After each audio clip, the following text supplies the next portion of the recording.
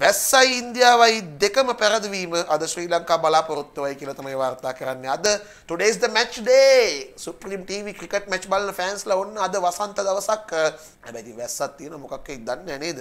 කොහොම හරි අපි බලමු.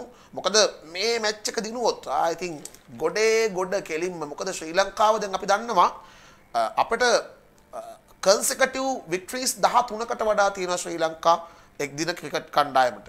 අපි ලෝක කුසලාන සුසුකල් ලැබීමේ තරංගාවලියත් අපරාජිතව අවසන් කරපු කණ්ඩායමක් ඒ වගේම දැන් මේ ආසියානු කුසලාන තරංගාවලියත් අපි අපරාජිතව මේ වෙනකන් ඉස්සරහට ඇවිල්ලා තියෙනවා. ඉතින් ඒ තරඟයි මේ තරඟයි ඔක්කොම ගත්තාම අපි 13කට වඩා මම දන්න විදිහට consecutive victories එහෙම නැත්නම් එක ළඟ එක ළඟ අපරාජිතව 13ක් දිනලා තියෙනවා කියලා තමයි මම දැක්කේ. කොහොම වුණත් අද ඉන්දියාවත් එක්ක පවතින තරගය ටිකක් තීරණාත්මක තරගයක්.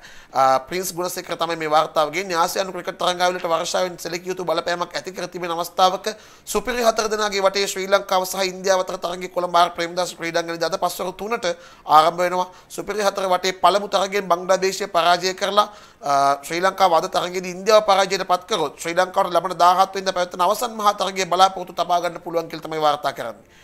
ප්‍රේමදාස් ක්‍රීඩාංගණයේ දගපන්දු යවන්නට වැඩි වාසියක් ගෙන දෙන බවට ජනප්‍රිය මතයක් වුවත් පහුගිය තරඟ කිහිපයේ පිටිකරුවන් හොඳින් ලකුණු රැස් කිරීම සිහිපත් කළ යුතුයි. ඉතින් නිමා වෙච්ච ශ්‍රී ලංකා බංග්ලාදේශ තරඟයේ කාසී වාසී බංග්ලාදේශ දිනා ශ්‍රී ලංකාවට පන්දුවට පහර දීමට ආරාධනා කළත් එහිදී මුලින් පන්දුවට පහර දුන් ශ්‍රී ලංකා පිටිකරුවෝ ජයග්‍රහණයට අවශ්‍ය ලකුණු ගාණක් රැස් කරා කියලා තමයි වාර්තා කරන්නේ. දැන් අද තරගය ගත්තොත් එහෙම අද ගොඩක් අය අපේක්ෂාවෙන් ඉන්නවා දැන් ඊයේ තරගයක් පැවැත්වුණා ඇත්තටම ඊයේ ඉන්දියාව ලකුණු අති විශිෂ්ට ගානක මතන දෙසේ විස්සකින් විතර ජයග්‍රහණය කරම දන්න විදිට ශ්‍රී ලංකා ඉන්දියාව.